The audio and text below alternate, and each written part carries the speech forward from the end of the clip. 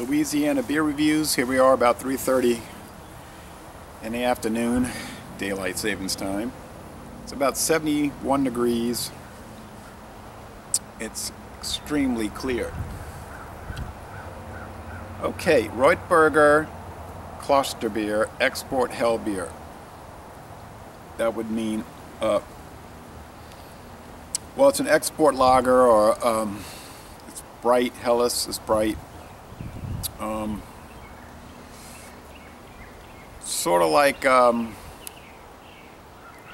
special export type thing, except this is made with the the Reinheitsgebot uh, guidelines instead of the uh, you know special export has corn or rice adjunct.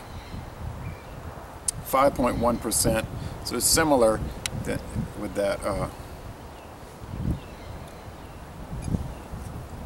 that uh, style. Okay.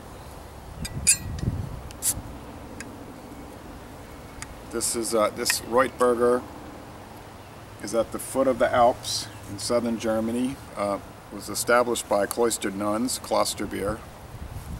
Oh, a lot of smoke, but it's blowing away in this kind of a windy day.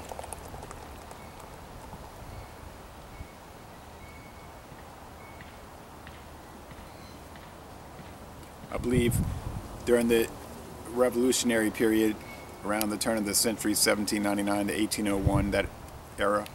I think the monastery or the uh, convent, I should say, was taken away from the, the nuns, but it was established by them in 1677 when um, we had the First Reich, the Holy Roman Empire of the German nation.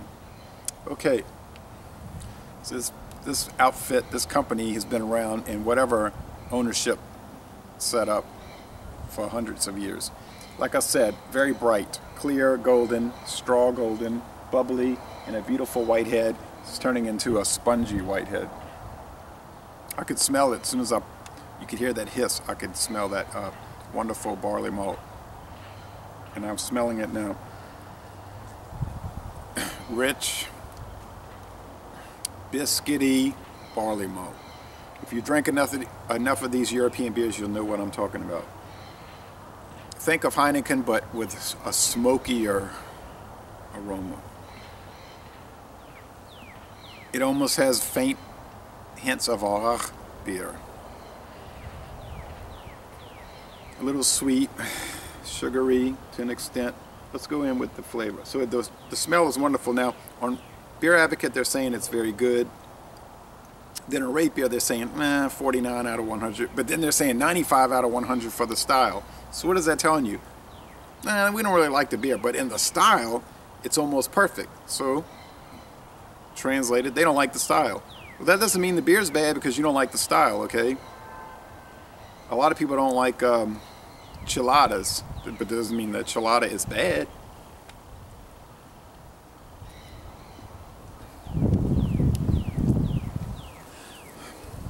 Those grassy hops.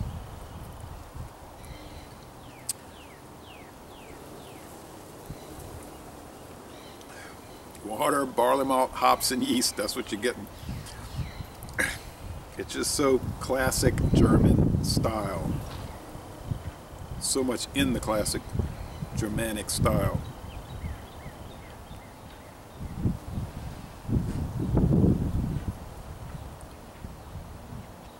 5.1, that's just a tick above Budweiser.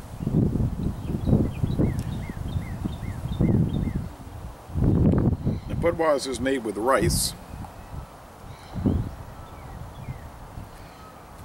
And for those, this is a pretty nice looking bottle design. I bought it at uh, Dorignac's. One pint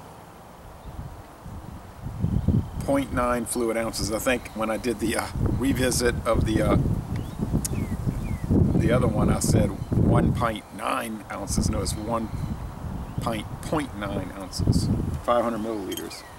Uh, um, that was the export Dunkel I had revisited.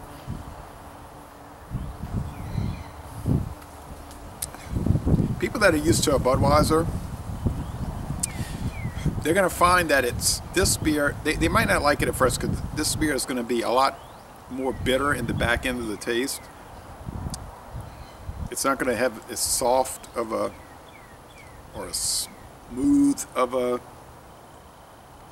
presentation. But if you drink enough, you get used to it. You'll find that it does have it does have softness. It does have smoothness. It does have a crisp finish. It's not super clean. You get grain. You're getting a lot of grain. That's the barley. You're getting that smokiness in the aroma, which you're not going to get with a Budweiser. So I mean, they're similar in the sense that they're lagers and they're bright. I mean, this looks similar to a Budweiser. And even, and it's the grass and all, but you'll get a little green thing with Budweiser in this.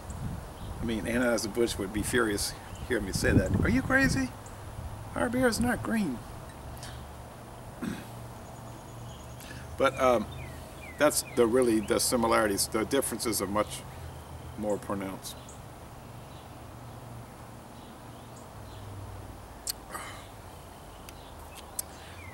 This is a very good beer. They're saying 95 out of 100 for the style. I'll go along with that. I would feel comfortable giving this beer overall an A.